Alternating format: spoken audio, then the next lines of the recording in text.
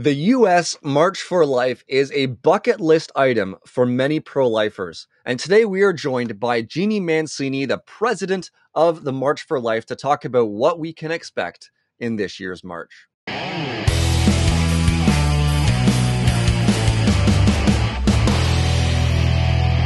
Hello, everyone, and welcome back to the Pro Life Guys podcast. Thank you so much for tuning in. My name is Peter. I'm the host of the show. And with me again is Cameron Cote, my wonderful co host. Hello, sir. Hey, hey, good to be back. And right off top of this show, I want to give a huge shout out to Anne Claire, who we hear is a big fan of the show. She is the um, involved with the March for Life in DC. She was the one who helped set up this interview with Jeanne Mancini, who must be one of the busiest people in the world right now. A week before the March for Life, at time of recording, um, huge shout out to Anne Claire. Really appreciate it. Um, but yeah, let's talk about this this episode, Peter. Yeah, for sure, Cam. The March for Life for many pro lifers is a major calendar event. Um, certainly for pro lifers where we live in Canada and in the United States.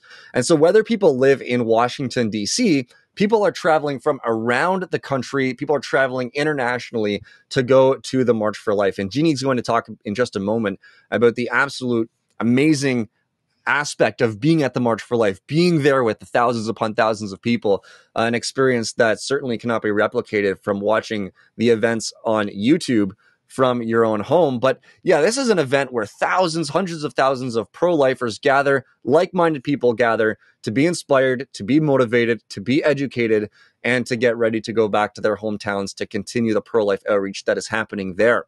And so to talk about the March for Life that is taking place tomorrow um, from from when this is going to be published tomorrow. This year uh, and today, we're honored to have on Jeanne Mancini. She is the president of the March for Life, the group responsible for the March for Life in the United States every year. And uh, it, I think it's on the anniversary of Roe versus Wade. Am I correct, Cam? Yeah, on the anniversary of Roe versus Wade.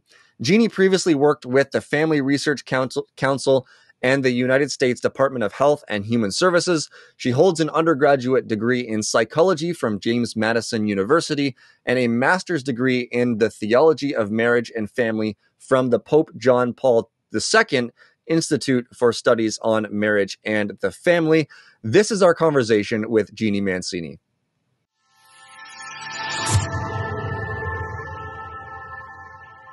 Jeanne, thank you so much for taking the time and joining us on the podcast. Well, thanks so much for having me, Peter. Yeah, so let's talk about the theme this year, which is equality begins in the womb. Uh, the theme of the March for Life that we are, uh, yeah, excited for coming up very shortly. Why is this such an important theme to discuss, considering the current narrative surrounding abortion? Well, especially these past couple of years, but but almost always, we are hearing a lot of talk about equity and equality. And you know these are very important conversations to have you know whether it's racial injustices or um, issues surrounding the covid pandemic etc but we wanted to insert into that conversation the inherent dignity of the unborn child as well who also has equal dignity. And so we thought it was a great cultural juncture i guess you could say to insert the unborn child into that conversation. Excellent. And, I love it. And I love exactly that. It's a bit of a lightning rod to get people thinking about this as a matter of equality, not as a necessarily a religious topic or just a philosophical topic, but as a human topic. And and I know that for many people who have the March for Life on their bucket list, especially the March for Life in DC, um, they they love to know about who they can expect to see and hear and what they can gain from the March for Life. And I was wondering if you could give us a little bit of an overview of what somebody could expect from the March for Life, especially for those who might be still on the fence as to whether or not they're going to make the the trip um, to DC. What could they expect from this year's March for Life? Well, Cam, I love the idea of the March for Life being on someone's bucket list. I've never heard that idea before, and I just love thinking about it. It brought a smile to my face, and it should be on everyone's bucket list. Yeah. Um, similar to any, you know, lived reality, there's something that's very different about reading about the March for Life or seeing pictures or watching it virtually to actually coming in person. And, you know, I personally, this is my experience where it just changes your heart. But um, more than me, I've heard so many, I guess you could say, conversion stories of people who come to the march and their life is radically changed because of the experience of being here in person. And I, you know, I think for everyone it's different, but a common theme that I hear is just the unifying, uh, like experience of hundreds of thousands of people being there and that you're one of that group, you know, fighting for the human rights abuse, fighting against the human rights abuse of today. So anyways, I just want to put in a pitch for coming in person. It's it's really life changing. And as to um, the question of who they would hear from this year, wow, it's a really stellar lineup. I'm going to make sure I don't miss um, anyone. I have a list right here in front of me, but some of the headliners um, include Father Mike Schmitz. He is the host of the most popular podcast in the world right now, Bible in a Year. Um, maybe some of you have heard of the show Duck Dynasty. Lisa Robertson from Duck Dynasty is going to share her testimony. It's a little sad, but finding hope and healing after being involved in abortion. Um, I think one of the best speakers will be Katie Shaw. Uh, we know that when speaking of equality begins in the womb, that young that unborn children diagnosed with um, or not diagnosed but who receive a positive test for down syndrome are disproportionately targeted for abortion and uh, katie has down syndrome and so you know her presence and her speaking will very much showcase the idea of equality beginning in the womb and i could go on and on and on and on and on because i think i just hit like three or four there but we have about 12 13 speakers. Um, so check us out at marchforlife.org and, and see the rest of them. Blows my mind that that um, you don't see it as a bucket list. It's a bucket list item for ton of people in Canada. Peter, both you and I are in Canada here. We have more people who who want to go to the American March for Life than than often the Canadian Marchers for Life, largely just for exactly the reason that you mentioned, Jeanne, the the sheer volume of people, the volume of people that they're able to um, meet there, not only um, students and and other people in all walks of life, but these speakers that you mentioned. Um, I know Kirk Cameron and other. I'm sure there's going to be a ton of politicians there as well um, really really exciting really cool to see that it's still going forward um, in this year that that is going to be tricky, I'm sure, compared to other years, but really excited to see this going forward. So excited for that. And I'm curious, just on a, um, from your own perspective. So you have been a part of the leadership team of the March for Life for almost 10 years now, I believe. And what is it that excites you about the March for Life? I'm sure that there's some people who might see this as just kind of a day to day kind of thing, but probably not very many because you get to interact with so many different people. What is it about the March for Life specifically that ex- excites you and kind of inspires you to grow in your pro life conviction and and kind of engagement around the rest of the year? Oh, that's a really good question. Uh, I, for me, it's watching God opening different doors and and then closing certain doors and and watching Him at work. Um, all of us on staff, we've got just a really fantastic staff. Are people of deep uh, personal faith, even though the March for Life itself is an, a non-sectarian organization but watching you know really knowing that we're on the right side of history here and then watching certain things fall into place or other things you know sort of stymied um, i think to me that's one of the most exciting things. And then always you know like right around the the day of it, before the day seeing the young people come in I mean, my heart just starts beating fast in the best kind of way, or seeing like all the religious nuns, like the Sisters of Life, kind of streaming through Washington, D.C. It's like D.C. is changed. I'm there most days of the week, but to see all these young people with these positive signs and their t shirts and all of that, it's like, oh, I, I, there's something about it that's kind of hard to put into words, but it's just so uplifting. And then, of course, always getting up on stage that first moment and looking out at the crowd, and especially seeing the young people, that's really breathtaking as well. I can imagine. I can imagine. Um, okay, so one of the things, one of the final questions we have is a lot of times people look at New Year's or election cycles and different things and say, this is the most important year. This is the most important time for us to be active. But I think when we look at the American climate when it comes to abortion, we're seeing the Supreme Court. There's a case before the Supreme Court, Dobbs v. Jackson, Whole Health. Um, Texas has made waves with their recent legislation and and there are i mean so many other things as well where it seems like the abortion industry has their back up to a wall and they um in a sense some of them are, are saying that the writings on the wall that roe versus wade is going to be overturned and all of this. Looking at the march for life looking at the, the the thousands and thousands of thousands of people especially young people who are coming to the march for life i wonder um, why might this year be particularly important not just to come to the march for life but but also to get more involved in the pro-life movement in their local communities? I wonder if you could share with us a call to action um, just in in light of some of the things we're seeing culturally. I'll share with you what's been on my heart which is that i think we're at a cultural crossroads here.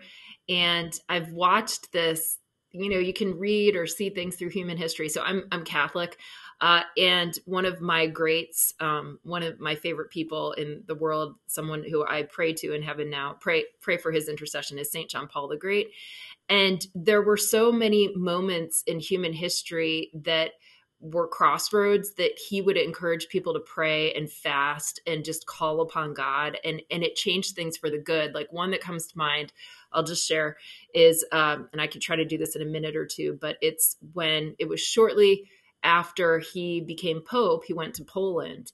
And uh, it was amazing in terms of Poland was under communist regime at the time, and the government did not want him to come a religious figure, a Christian figure. And he came and he had these outdoor activities. And in one outdoor activity, he was calling upon the Holy Spirit and invoking the Holy Spirit. And the people, literally millions of people were at this. It was an outdoor mass. They started applauding and singing Come Holy Spirit for like 15 minutes and they wouldn't stop applauding. It was just so moving. And then at another point, he asked them how they felt about communist you know regime and and religious freedom and the people started chanting we want god. We want god. I mean they just started chanting this. And you know the people coming together in a group which reminds me of the march for life like these you know hundreds of thousands of people coming together and praying and invoking god and fasting can make a difference. And in that time that was the beginning of the fall of communism was when he went to poland. And especially i think these outdoor activities where these millions of people came together. And i think right now with dobbs before us I think we're at a cultural crossroad, and I think that we need to call upon God and to pray and fast in such a fervent way because it can happen. I mean, it, it can happen. We can build a culture of life, and we may very well see Roe overturned this year, which doesn't mean abortion's illegal in the United States. And I think that's really important to mention, but it would be a huge, significant step in the right direction. And so I see us as being at a cultural crossroads. And so come to the march, but even if you can't come to the march, I mean, maybe even more importantly, pray, fast, um, tell your story through the hashtag why we march so that you know someone else's heart is changed through your story but i absolutely believe we're, we're at a crossroads and that um, it kind of rests on us a little bit to call upon god and to allow him to use us as his instruments Amen. And this is so cool to see from the perspective of Canada. I mean, it, it's easy in Canada to get um, kind of disheartened and yeah, and disillusioned by abortion because of where everything's happened. It's so cool to see America and and to be able to follow in the footsteps of what you guys have been able to achieve. I know that I mean we're recording this a week before the the launch of the march, which is crazy time for you. So I know that your time is precious where do, where do we find more? Where do you want to direct people to learn more about the March for Life? Whether it's accommodations, whether it's how to line up a bus, whether it's um, other details about schedules. Where do people go to find out more? marchforlife.org. So that'll give you all of those details, including some live streaming options of the rally itself, a free um, you know event the day before capitol hill 101 with an all-star cast teaching people how to interact with their member with their elected officials uh, and then they could also sign up for the Rose Dinner, even virtually. That's a paid event. That's $25 per person to watch online. But um, most of the things are free and just incredible. So, highly encourage you to do that, or even better, come in person. Awesome. Jeanne, thank you so much for taking the time. And we wish you nothing but success uh, as you see the execution of the March for Life and uh, really getting people activated and motivated to continue working in the pro life movement. Well, thank you so much for having me. Thanks for what you guys are doing. I'll tell Ann Clary said hello. Please do. Okay. All right. God bless you guys. Bye bye. That is Jeanne Mancini, the president of the March for Life in the USA, March for Life USA, um, talking about the March for Life that's coming up, the March for Life that that hopefully you are going to going to be attending, going to be inspired from, and and motivated from to, as I mentioned off the top of the show, go back to your communities and continue pro life outreach, continue fighting against a culture of death, a culture um, that seeks to, to tear apart, in a sense, that our children and fight for a culture of life. Cam, any final thoughts? I know we had talked about the March for Life uh, on an episode previously. I think it was episode 27, um, how people can make the most out of their March for Life. But maybe to, to start it off, do you have any thoughts on uh, some of the things that Jeanne shared? And then maybe touch a little bit on sort of a recap from episode 27 where we talked about that last year. Yeah. So again, super appreciative of Jeanne making the time to join us on on the podcast. She's got a million things up in the air, but I really, really appreciated how she kind of identified this year as a cultural crossroad, not only in America but arguably around the world. Right? That that America in many ways, uh, I mean, more than just on the abortion conversation, but uh, certainly on the abortion conversation, is a bit of a, a lightning rod for the rest of the world, right? That everyone is watching what is going to happen with this Supreme Court decision, what is going to happen to Roe versus Wade. This is going to send ripple effects around the world. And now I would argue more than at any point for a long time, we need to make our voices heard. Right. And and it was interesting talking to Josh Brahm a little bit ago and how this is kind of what we've been praying for, what we've been working towards for the last number of decades in Canada and America and around the world that a challenge to Roe versus Wade, and now is not the time to um, get get um, frightened and and scurry back to our our homes and holes wherever we are. This is what we have been hoping for for the longest time. We never should have thought that it'd be easy when this comes to being decided upon. And so this year's March for Life, like Jeanne said, is a great opportunity for your voice to be heard, to come shoulder to shoulder with hundreds of thousands of other people um, to demonstrate just how much support there is, not just for the pro life worldview, but for people who may be in hard circumstances. The, the idea that pro lifers are not here to support you is completely um, nonsensical. The people at the March for Life, you go up to them like, "Hey, are you going to help me um, through my pregnancy?" I'm sure that 99 times on 100, they're going to be willing at that moment to say, "Yeah, I'll help you. What do you need? What do you need? I, I can help you out." And so, um, bearing that in mind, a few things that we mentioned last year. So, for a lot of people, the March for Life is a great springboard but we want to make it that way for everybody. The March for Life, in and of itself, is not going to end abortion. It's not going to end abortion in America. It's not going to end abortion in Canada. It's probably not, in and of itself, going to change a ton of hearts and minds. And so, how do you leverage your March for Life experience, whether you're there in person, whether you tune in virtually? How do you leverage that to the greatest impact of transforming culture? Well, what we talked about last year, Peter, like you mentioned in episode 27, is four components of optimizing your March for Life experience. First, use this as an opportunity to be invigorated and empowered by the community. Jeanne touched on this of how cool it is to have that huge volume of people who are like minded. So often you can feel isolated in your home community as the weirdo who believes that abortion is wrong. Go there and be reminded that you do not stand alone you are not alone in your conviction that it is it is inappropriate to re- resolve even the most challenging of pregnancies by killing the weakest, most vulnerable member of the human family. Be reminded that you're not alone in that. Number two, remember to network and get ideas from other folks. That there's gonna be people from all across the country, all around the world there people marching in their home communities, people even tuning in online and commenting in the, the comment section, whatever. Use that as an opportunity to learn from them. What are they doing? What is working in their hometown? What have they done that has been effective in transforming their own um, community? Changing minds, saving lives, um, meeting with people who are in tough situations, helping people who have chosen abortion already find hope and healing use this as a network networking opportunity to learn about how you can take your pro life um, involvement engagement to the next level and that leads perfectly into the third item which is getting educated. Use this as an opportunity uh, jeanne mentioned the day before the thursday today ultimately um, they're doing um, Capitol 101, I believe she called it, which is kind of the the training module for how to effectively lobby politicians and, and work with your, your representatives and whatnot. This is going to be valuable information for anybody, regardless of whether you're from America or not. So get trained. Get trained on how to make a political impact. Get trained on how to have good conversations. Keep not only listening to this show, but there's going to be speakers there that can help you have good conversations about abortion and learning about all sorts of other ministries.